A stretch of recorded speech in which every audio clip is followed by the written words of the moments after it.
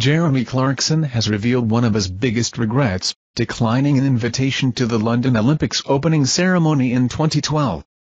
Expecting it to be a wokeness spectacle and a technical shambles, Clarkson chose to watch it on TV, a decision he now deeply regrets.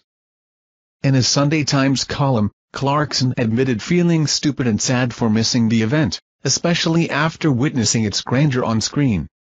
Highlights for him included Queen Elizabeth II's scene with James Bond and Rowan Atkinson's comedic Mr. Bean performance. Clarkson's excitement for the 2024 Paris Olympics quickly turned to disappointment. He criticized the choice of torchbearers Rafael Nadal and Serena Williams as very un-French and found the Last Supper reenactment disrespectful and out of place.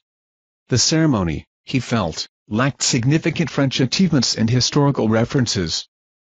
The Last Supper segment sparked backlash on social media, with many finding it offensive. One user noted, there are over 2 billion Christians around the world and many love to watch the games. Why would you make fun and open with that?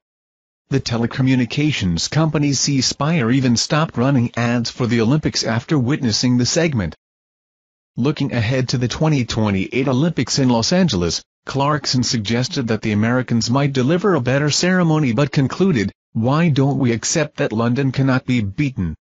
Reflecting his belief that the 2012 London Olympics set an unmatched standard. Clarkson's reflections highlight the importance of appreciating and participating in significant cultural events, as they offer unforgettable experiences. Thank you for watching our videos. Subscribe to our channel to get notifications when we post newest videos. Thank you and goodbye.